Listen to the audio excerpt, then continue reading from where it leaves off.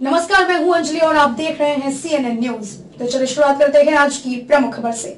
झाबुआ ज़िले के रायपुरिया थाना प्रभारी अनिल बामनिया ने नशे में चौराहे पर जमकर उत्पात मचाया। उसने लोगों को दौड़ा दौड़ा कर पीटा और जिस पर नज़र पड़ी, उसकी पिटाई की। काफ़ी देर तक लोग भी थानेदार की ये गुंडागर्दी देखते रहे। थोड़ी देर बाद जब सब्र टूटा तो लोगों ने भी अंधेरे का फ़ायदा उठाकर उसे घेर लिया और पिटाई शुरू कर दी। थानेदार की इस हरकत का लोगों ने वीडियो भी बना लिया।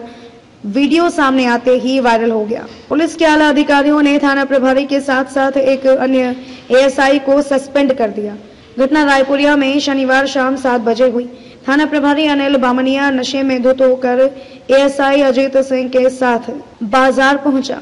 वह पहले तो नशे में चहलकदमी करने लगा, लेकिन बाद में लोगों को गाली देने लगा। इसके बाद फिर उसने वहाँ से निकलने वालों की पिटाई शुरू कर दी। दौड़ा दौड़ा कर लोगों को पीटा, जो दिखा उसके पीछे पड़ गया।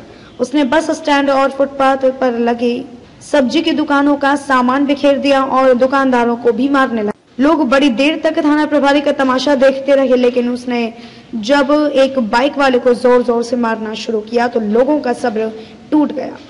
उन्होंने अनिल बामनिया को घेर लिया और पीटना शुरू कर दिया। खबरों में अब तक ये बस इतना ही। मिलते हैं फिर ऐसे ही किसी बड़ी खबर के साथ।